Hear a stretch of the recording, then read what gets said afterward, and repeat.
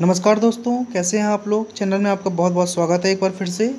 जैसा कि आप देख रहे हैं कि साइंस के हम मोस्ट इम्पोर्टेंट क्वेश्चन कर रहे हैं और अभी तक हमने पार्ट वन में किया था कि साइंस के इम्पोर्टेंट क्वेश्चन जिसमें कि हंड्रेड क्वेश्चन कंप्लीट किए थे।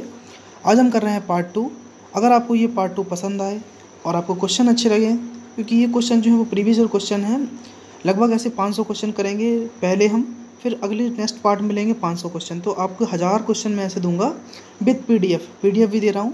आप डिस्क्रिप्शन में जाकर पीडीएफ डाउनलोड कर लेना, नीचे से दी गई है. अगर वीडियो पसंद आए तो प्लीज़ लाइक करना और सब्सक्राइब कर लेना चैनल को अगर आप पहली बार आए हो तो. ठीक है, आइए हम शुरू करते हैं अपना video question number one Nobel पुरस्कार से सम्मानित होने वाले विश्व की प्रथम महिला विज्ञान के क्षेत्र में कौन थी? तो वह कौन थी भाई? नोबल पुरस्कार सम्मानित होने वाली प्रथम महिला वो थी मैडम क्यूरी, जो कि भौतिक विज्ञान के क्षेत्र में इनको क्या मिला था? नोबल पुरस्कार दिया गया था 1930 में। पूछा गया एग्ज़ाम में आपके। अगला क्वेश्चन। पानी में सुई तो डूब जाती है, जबकि भारी भारी समुद्री जहाज़ तैरते रहते हैं। क्या कारण है? तो इसका कारण क्या है? जहाज़ के डूबे हुए भाग से हटाए गए पानी का भार सारे जहाज़ के बराबर होता है। यानी कि जो टोटल जहाज़ का वज़न है उसके द्वारा हटाए गए पानी के भार के बराबर होता है, इसलिए वह प्लवन करता है। सुई के द्वारा हटाए गए पानी का भार सुई के भार से कम होता है, जिससे सुई पानी में डूब जाती है। यही रीज़न है। आगे देखते हैं। भारत को स्वदेश निर्मित, यानी कि इंजीनियसली विल्ट, दूसरी पीढ़ी का प्रथम उपग्रह कौन सा है? तो ये क्वेश्चन भी आया है। तो भारत में स्वदेश निर्मित दूसरी पीढ़ी का पहला उपग्रह कौन सा है? वो इंसेट टू ए सूर्य के प्रकाश की सहायता से शरीर के में किस विटामिन का निर्माण होता है? तो सूर्य की प्रकाश की सहायता से शरीर में विटामिन डी का निर्माण होता है। आगे हम बढ़ते हैं। हेली पुच्छल तारा कितने वर्ष बाद दिखाई देता है? तो हेली पुच्छल तारा जो है, जो छिहत्तर वर्ष बाद दिखाई देता है। ठीक है, अब ये उन्नीस सौ बासठ में दिखाई सॉरी ये दो हज़ार बासठ में दिखाई देगा। ठीक, हेली पुच्छल तारा। किन तरंगों की सहायता से चमगादड़ रात में सुरक्षित उड़ते हैं? तो चमगादड़ जो हैं वो परासर्ब तरंगें उत्पन्न करते हैं, इसी की सहायता से ये उड़ते हैं। एचआईवी विषाणु से कौन सा रोग होता है? तो एचआईवी जो विषाणु है, यानी कि human immuno deficiency of virus, इससे एड्स रोग होता है, एक्वायर्ड इम्यूनो डिफिशियंसी सिंड्रोम, इसके एड्स का पूरा नाम है। रक्त का थक्का जमाने में कौन सा विटामिन सहायक होता है? तो विटामिन के जो कि रक्त का थक्का जमाने में सहायक होता है। एम्पियर सेकंड किसका मात्रक है? तो आवेश का मात्रक जो होता है एम्पियर सेकंड ठीक? ये आवेश का मात्रक होता है। लाफिंग गैस किसको बोलते हैं हम? नाइट्रस ऑक्साइड को हम लाफिंग गैस बोलते हैं। एक होती है एन NO, एक होती है एन तो ये है नाइट्रोजन डाइऑक्साइड और ये होती है नाइट्रस ऑक्साइड एन इसको बोलते हैं हम एन नाइट्रस ऑक्साइड आगे बढ़ते हैं अगले क्वेश्चन की ओर। बाह्य चुंबकीय लिखा है कि बाह्य चुंबकीय प्रभावों से वैज्ञानिक यंत्रों की रक्षा की जाती है। तो क्या है? लोहे कवर में रखकर। तो जो चुंबकी, बाह्य चुंबकीय वैज्ञानिकों बाह्य चुंबकीय प्रभावों से वैज्ञानिक यंत्रों की रक्षा करने के लिए हमें क्या करना चाहिए? उन्हें लोहे के कवर में रखना चाहिए। परमाणु बिजली घरों में किस प्रकार की न्यूक्लियर अभिक्रिया होती है? तो परमाणु बिजली घरों में किस प्रकार की न्यूक्लियर अभिक्रिया होती है? ये होती है आपकी न्यूक्लियर संलयन अभिक्रिया, जिसको बोलते हैं न्यूक्लियर फ्यूजन। फिजन नहीं है फिजन होता है विखंडन। आगे हम बढ़ते हैं कि जी किरणों पर किस प्रकार का आवेश होता है। तो जी किरणों पर किसी भी प्रकार का आवेश नहीं पाया जाता है। याद रखिए।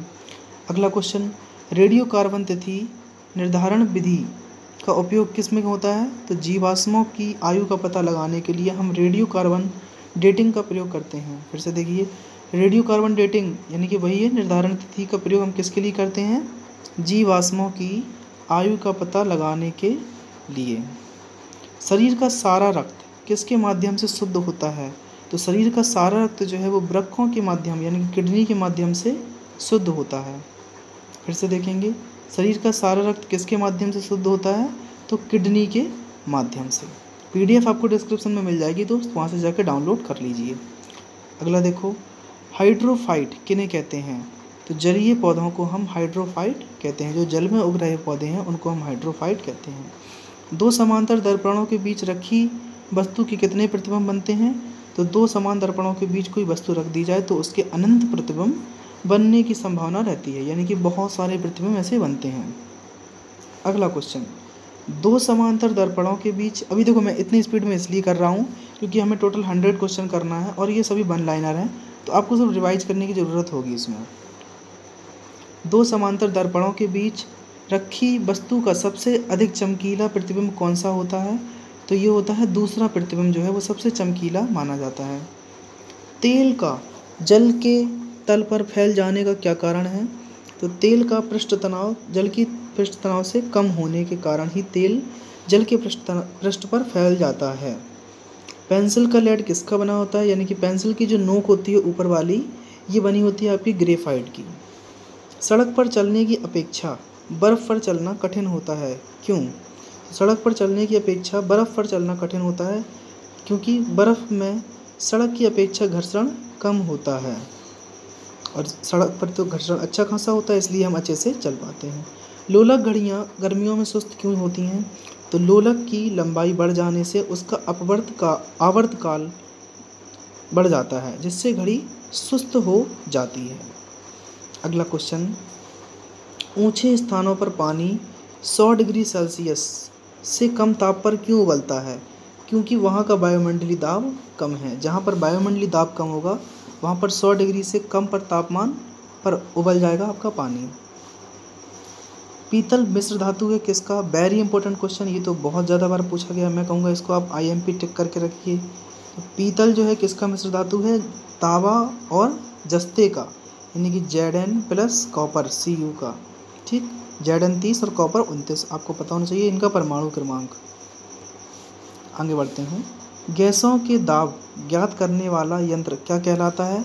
तो गैसों का दाब याद करने वाले यंत्र को हम मैनोमीटर कहते हैं।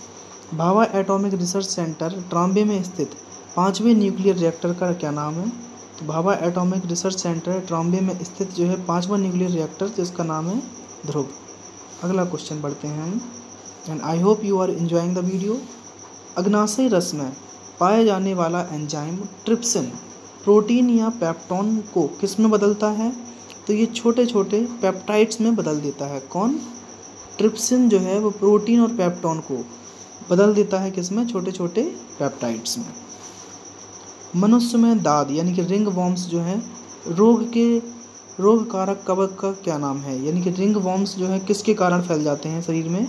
तो ये हमारे माइक्रो स्पोरम माइक्रो स्पोरम के कारण फैलते हैं आपके जो दाद वगैरह होते हैं इनकी खुजली, जिसको हम बोलते हैं इचिंग स्कर्वी नामक रोग किस विटामिन की कमी के कारण होता है?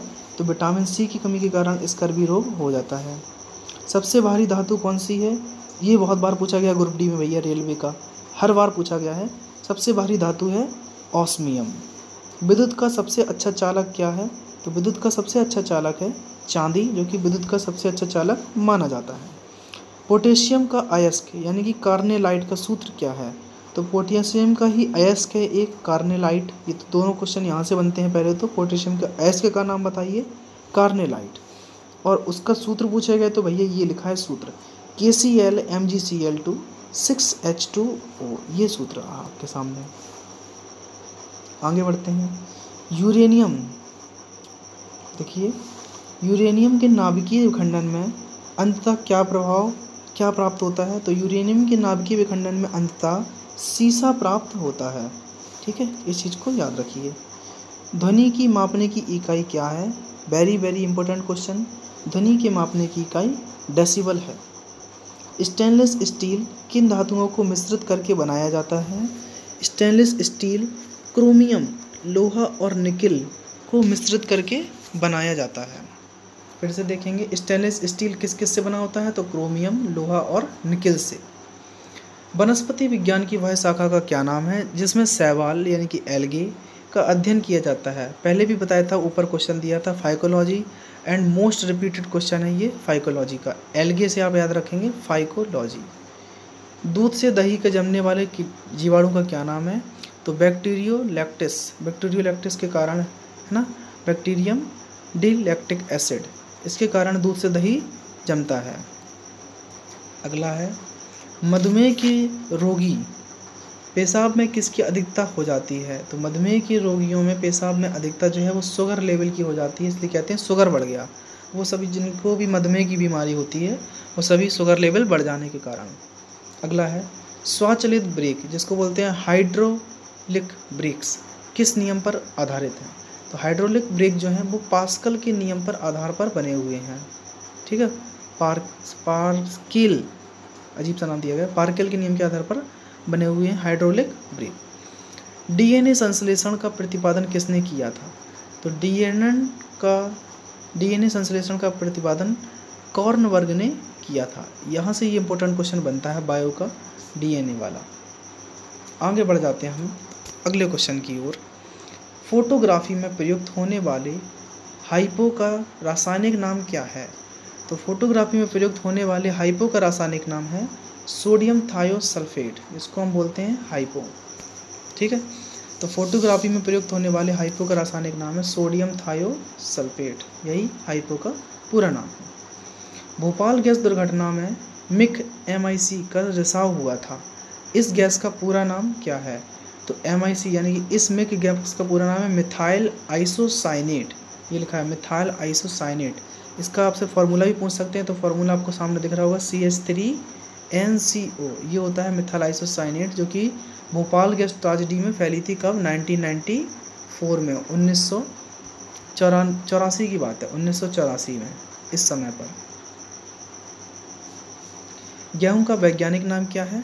टिट्रियम एस्टिकम टिट्रियम एस्टिवम गेहूँ का वैज्ञानिक नाम है या फिर टिट्रिकम बल्गेयर टिट्रिकम बल्गेयर भी, इसका वैज्ञानिक नाम है गेहूँ का, दोनों ही हैं।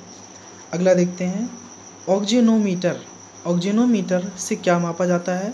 तो पौधों की रेखीय वृद्धि, यानी कि linear growth rate of plant से हम ऑक्जीनोमीटर से नापते हैं।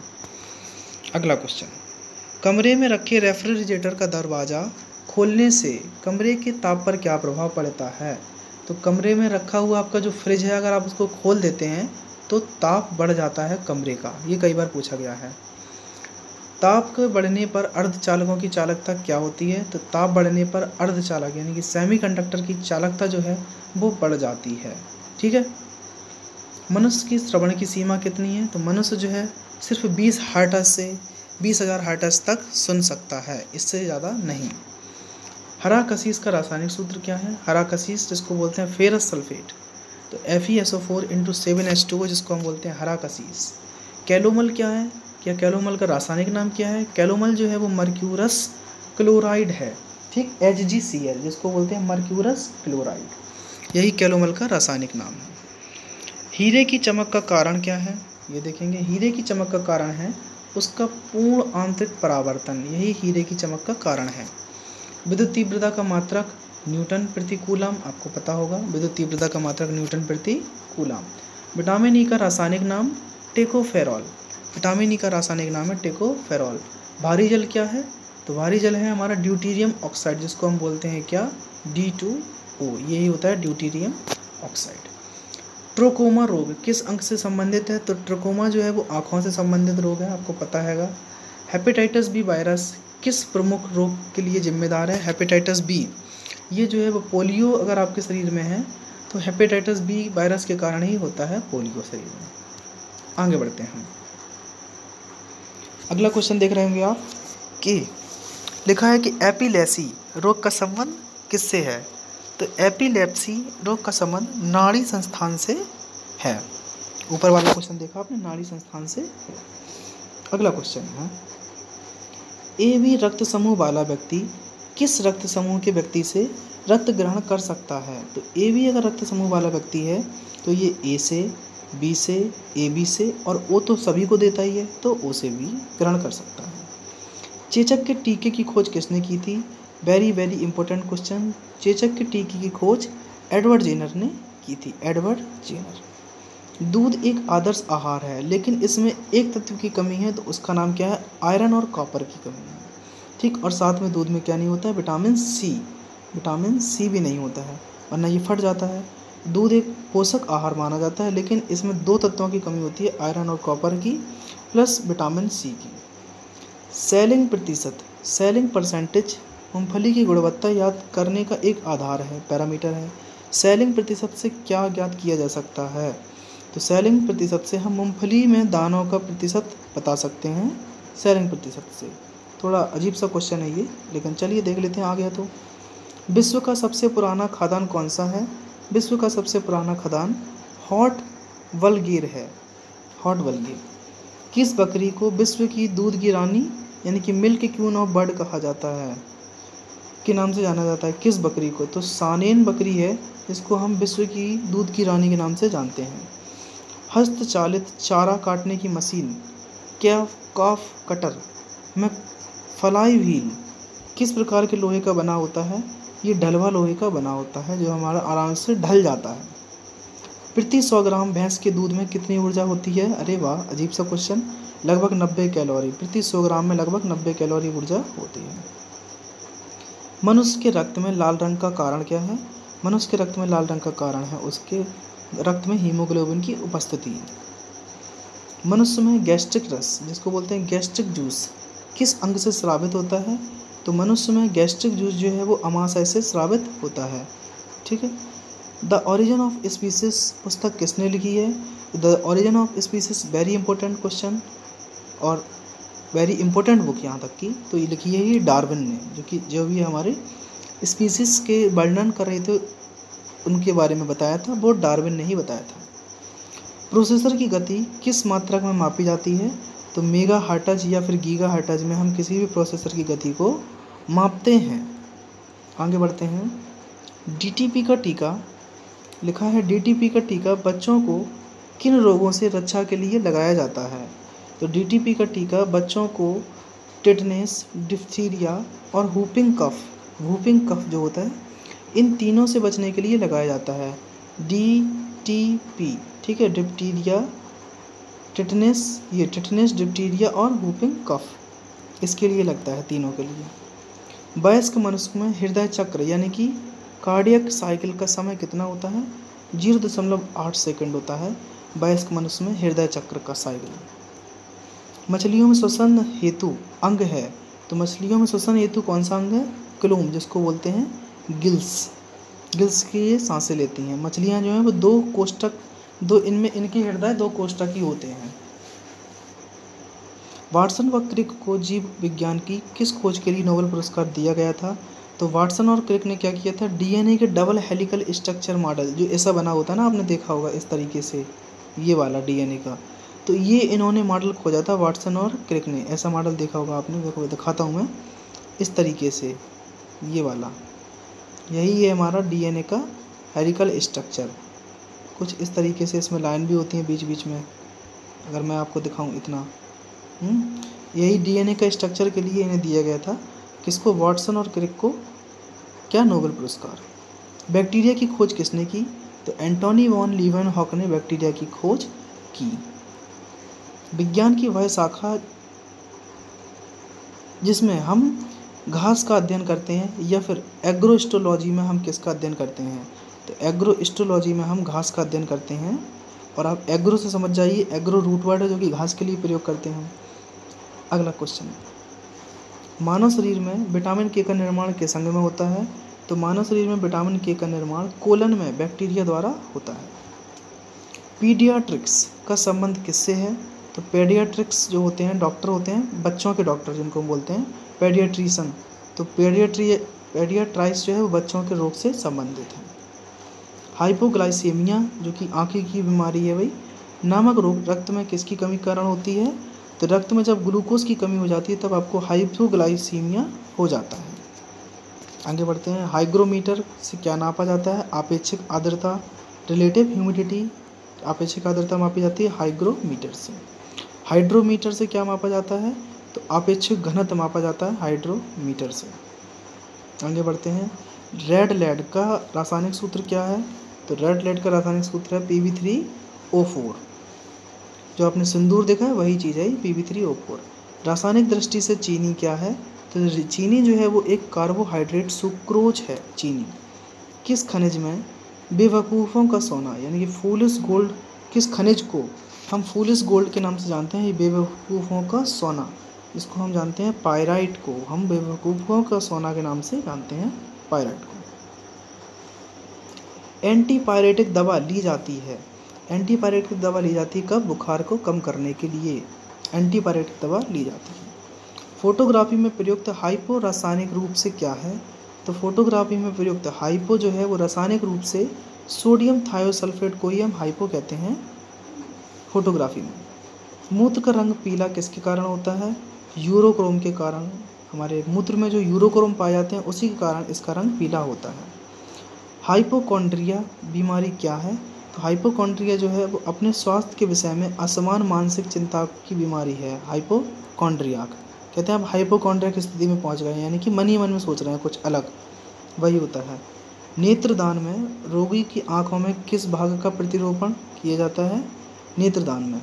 तो सिर्फ़ हम कार्निया को देते हैं उस स्थिति में, यानी कि ना कि पूरी आँखों को, कार्निया को ही हम देते हैं। अगला क्वेश्चन है। पेलाग्रा रोग किसकी कमी के कारण होता है? तो पेलाग्रा पहले तो ये समझिए, विटामिन फाइव की कमी के कारण होता है। ठीक है, बी फाइव, इसको बोलते हैं विटामिन बी फाइव। ये कमी कारण होता है पेलाग्रा और नियासिन की कमी कारण होता है। विटामिन बी फाइव का नाम है नियासिन। विटामिन बी टू है आई थिंक नियासिन। ठीक ठीक, बी टू है ये। चंद्रमा के तल से आकाश का काला दिखाई देने का क्या कारण है? प्रकाश का प्रकीर्णन के कारण आकाश हमें काला दिखाई देता है। चंद्रमा के तल से वो भी। हम पृथ्वी की बात नहीं कर रहे चंद्रमा की। खसरा होने का कारण क्या है? यानी कि मीजल्स होने का क्या कारण है? तो वायरस के द्वारा मीजल्स फैलता है। सामान्य स्थिति में हृदय से आने वाले रक्त का कितना प्रतिशत भाग गुर्दे को मिलता है? तो लगभग 24 प्रतिशत भाग गुर्दे को मिलता है। रक्त का 24 प्रतिशत भाग। नॉयलॉन प्लास्टिक्स के आविष्कार कौन थे?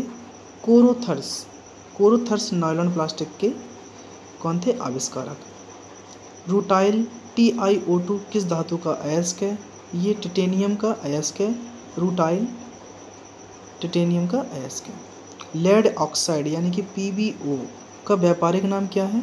तो पी का व्यापारिक नाम है लिथार्ज, इसको बोलते हैं पी अगला है, हिंदुस्तान ऑर्गेनिक केमिकल लिमिटेड कहाँ स्थित है? तो कोलाबा में, महाराष्ट्र में। महाराष्ट्र के कोलाबा में हिंदुस्तान ऑर्गेनिक केमिकल्स लिमिटेड स्थित है। स्तनधारी प्राणियों में रक्त का सबसे अधिकतम ताप किस पशु का होता है? तो वेल का अधिकतम तापमान होता है स्तनधारी पशुओं में, जितने भी हैं, सभी में। सबसे बुद्धिमान भी मानी जाती है यही। रेडियो एक्टिवता की इकाई क्या है? तो वैक्रल रेडियो एक्टिवता की इकाई है, जो कि मैडम क्यूरी की ही क्या थे? Husband Becquerel. नहीं नहीं, बैक्रल इकाई है सॉरी मैडम क्यूरी वो पेरी क्यूरी थे, ठीक है। ध्वनि से संबंधित विज्ञान क्या कहलाता है? ध्वनि से संबंधित विज्ञान को हम एक्यूस्टिक कहते हैं। एक्यूस्टिक इलेक्ट्रॉन की विराम ऊर्जा कितनी होती है? तो ज़ीरो दशमलव पाँच एक एम ई बी प्रदीप्ति घनत्व का, प्रदीप्त घनत्व का क्या मात्रक होता है? प्रदीप्त घनत्व का मात्रक लक्स होता है। लक्स साबुन देखा है आपने? वही है, प्रदीप्त घनत्व का मात्रक लक्स।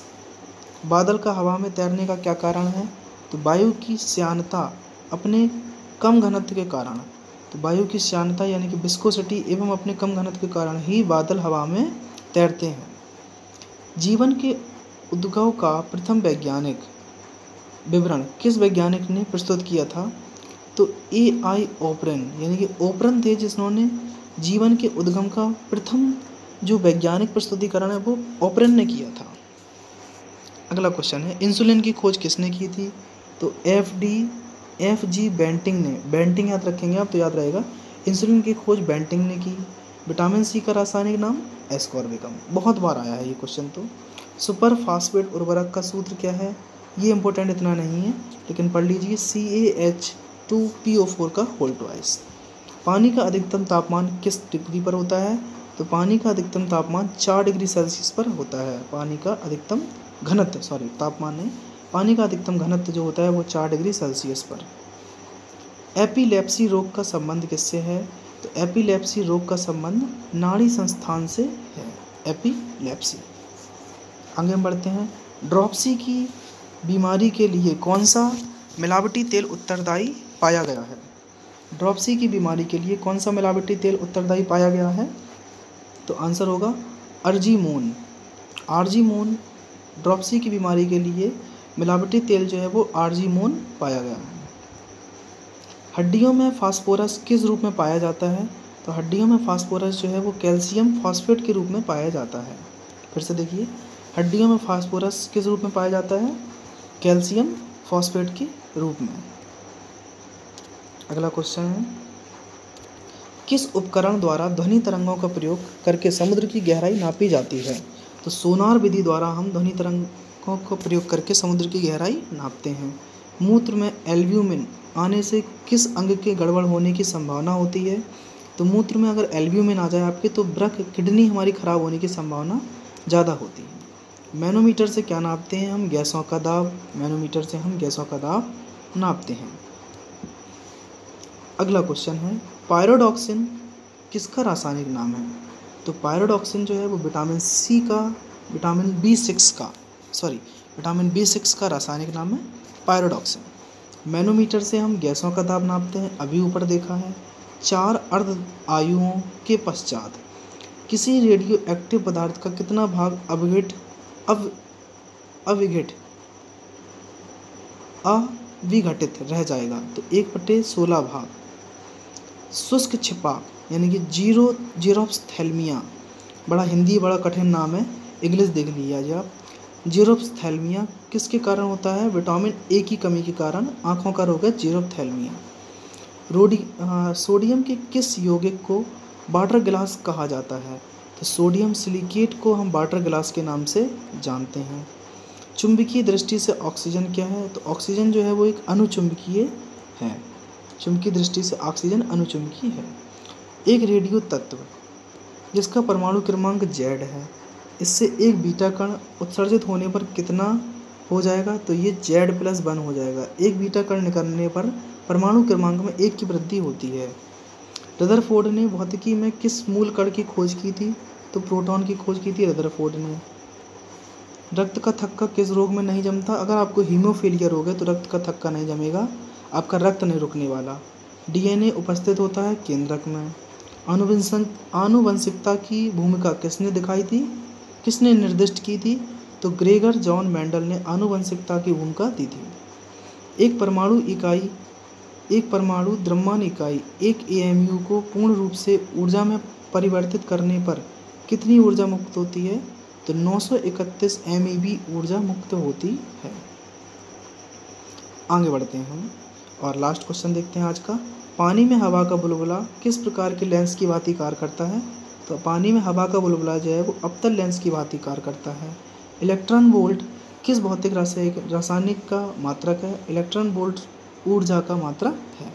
तो यहाँ तक दोस्तों क्वेश्चन थे, मैंने आपको हंड्रेड टॉप हंड्रेड क्वेश्चन करा दिए हैं पार्ट टू में। आई थिंक आपको वीडियो पसंद आया होगा तो ज़रूर लाइक करना। चलिए, हम मिलते हैं अब अगले पार्ट में। अभी के लिए इतना ही, धन्यवाद।